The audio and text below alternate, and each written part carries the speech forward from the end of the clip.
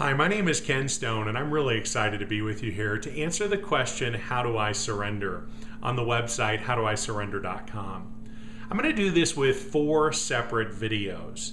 And these videos collectively are designed to address this question and also facilitate an experience of surrender for you. So, to begin our conversation, I want to open up with a simple metaphor that points to the complexity of this spiritual journey that we're all on, individually and collectively, all around the world. I want you to think of your spiritual journey as a three part archaeological expedition. And each of these three parts is critical. Mastery of each of these is critical. And then, like so many other things in our life, there is this truth. We get to experience and explore this at a deeper and deeper level. This is not a linear expedition. This is something we learn and then we relearn and we explore in greater depth as we go through our lives. So, since the journey is there to be experienced over the course of your life, why not take advantage of this opportunity to explore it at a deeper level now and develop mastery now? With that, I want to talk about the three things that I want to cover through this video series. The first is I'd like to talk about these three steps on the expedition. And in particular, in the next video, I want to expand and talk more about the question of surrender and the three steps that are involved in surrender.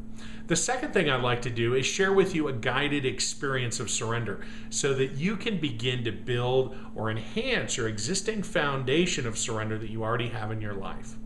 The third thing I'd like to do is invite you to join a spiritual community that I have created and that I support that supports people all around the world on their spiritual journey.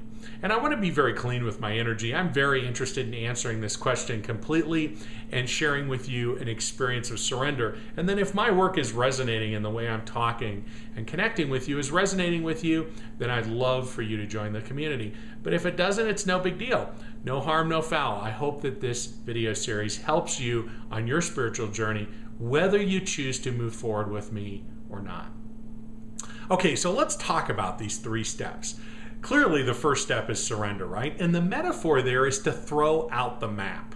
We all get so caught in this idea that we know where we're headed and how to get there. And I promise you, there is one or two things, challenges in your life upon which you get to surrender, around which you get to surrender. And these questions, this question, well, it's personal. It's what you know is going on in your life. It may seem confusing. It may look like a bunch of different things. I could tell you in my own life, I thought, oh my gosh, there's this and this and this. You know what it came down to?